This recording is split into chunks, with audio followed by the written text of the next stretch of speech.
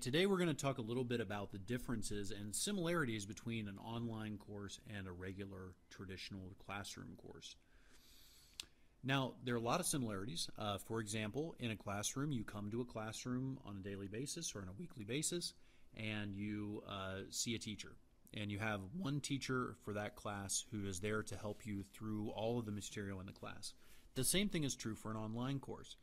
You have a teacher who is presenting you with this material is there to help you, uh, and the way that you communicate them is a little bit different. Communicate with them is a little bit different. In a classroom, you might raise your hand and ask them a question. On an online course, you would need to email them or post in a forum to answer to ask your question. So, although the mode of communication is different, the relationship of teacher and student is the same. So that you have a single teacher, that teacher is responsible uh, for helping you to complete the requirements of the course. Okay, so let's take a look at an online course. Here I've, you know, I've, I have been signed up for a course, I've logged in, and now I'm on the front page of the course. So how do I make that first contact with my teacher? Uh, now, in general, what you would find is you'd find a first, you know, you might have an email message from your teacher, some kind of message from you describing what to do on the very first thing when you sign up for the course. Um, uh, if you need to contact your teacher right off the bat, a great place to look is in this first section. So in the first section of the course, that's where all of your, so for example, on the computer applications, it's in the news and announcements section. So if we scroll down and we look at the course guide, it might say syllabus, it might say course guide, something like that. You'll notice that if I go ahead and open this up by clicking on it, you'll notice that the very first thing is this instructor that's going to give me my instructor uh, how to contact that instructor. So, um, so whenever I have a question or if I need something explained, I don't quite know what to do. Um, pretty much anything. If if you know you can't figure it out in a reasonable amount of time, the very next thing to do is to email your teacher, and your teacher will be more than happy to help. In fact, they'll be glad that you asked the question. Uh, so so please go ahead and do that. Okay, so the course guide is going to talk about the course. It's going to talk about how you're graded in the course. It's really important to understand this course guide or course syllabus right off the bat, as it is in a traditional course. So that's a that's a great similarity between the two. Just like when you started a regular course, the course syllabus or course guide is is you know there to help you to understand how to best to to best achieve uh, in the course. So too is that is that course guide or syllabus on a, an online course. So the next question that students really have is, well, you know, in a regular classroom, a teacher might hand me a piece of paper. I might write on that piece of paper, or the teacher might uh, require that I create a you know something on a piece of paper, like a like a you know math problems, or they might require me to write down questions from a a science textbook, or they might require me to create a piece of of creative writing on a piece of paper and then physically hand them the piece physically hand the teacher the piece of paper.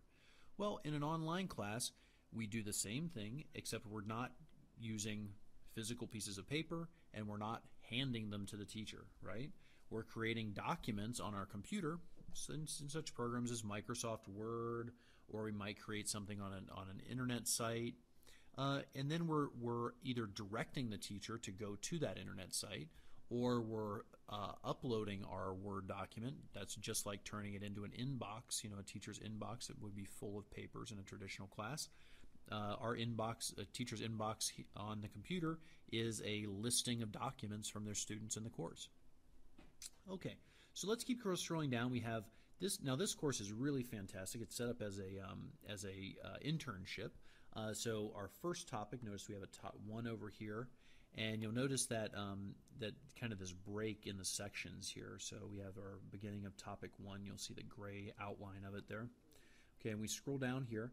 Um, now here is another difference between an online course and a traditional course.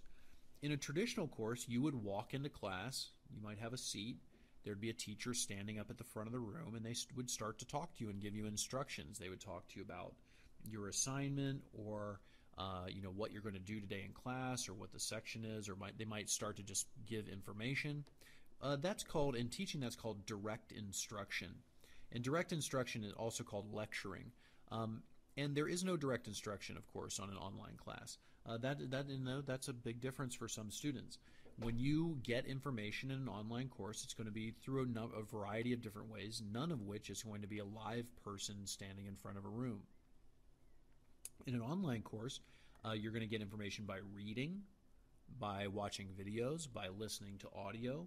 Uh, they won't be live, but it will be a much more rich experience than you might be used to in a classroom.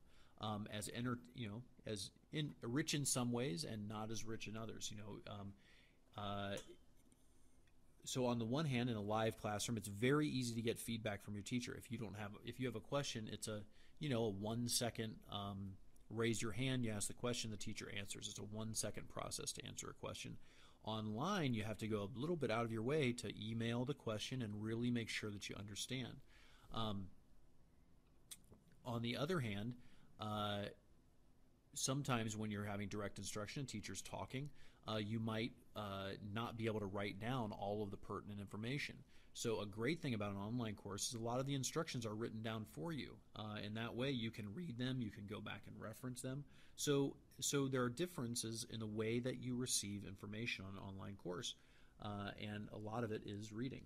Um, okay, so so we have our first section, and we have a good, solid description of what's happening in our first section.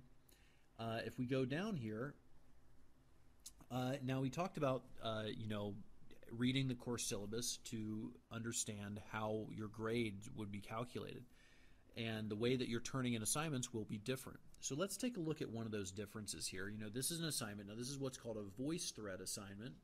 Uh, now, in a lot of cases, your assignments would be uploading files, and that's fairly fairly straightforward. You you know you select the file from your computer, you press submit, it uploads the file, or maybe you'd be on doing online text. That's a case where you'd say, I want to um, you know create a response, or I want to edit my response. You'd go in, you'd type something into an online text editor, and click save. that would be an online text response. In this case, it's a it's a VoiceThread. Okay, and VoiceThread is an external site. So let's go ahead and click on you know, really a different type of assignment than you might see in a, in a regular classroom. Okay, so we have our VoiceThread here. Oops, and I am going to go ahead and um, uh, switch my role to a student. Should be helpful. Okay, so um, we have our VoiceThread assignment here. And notice in a VoiceThread assignment, um, we can, uh, basically what VoiceThread is, is we, we hear a presentation.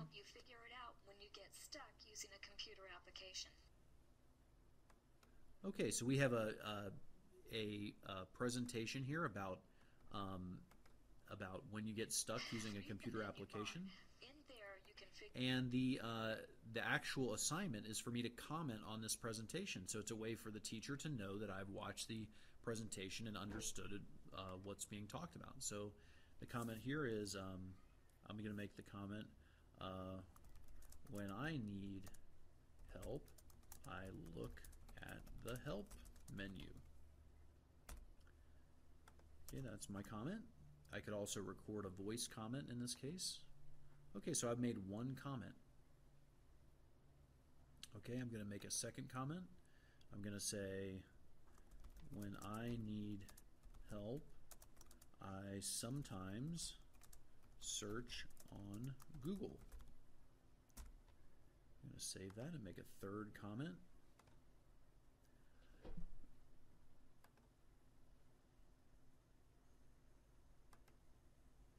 And now I'm recording a voice comment. Okay, so I've made three comments, so I'm going to go ahead down down to the bottom, uh, right underneath the VoiceThread um, uh, section of the assignment, and I'm going to click I made three comments. So in this case, um, in this case, uh, once I click that button, uh, I've actually turned in the assignment. Uh, which is great. So that's an example of a difference between um, an online course and a regular course. So I never handed in, I never physically handed a piece of paper to anybody, but I completed a task uh, as assigned in the course, and I and I clicked a button that indicated I wanted to send my work in to the teacher. So that's a that's a difference between online course and a regular course. Now the next thing that will be a little bit different is an online course, my grades uh, are available for me to look online. So as a teacher, you know, as the teacher evaluates my work and gives me um, grades in the class, I'll be able to see them online.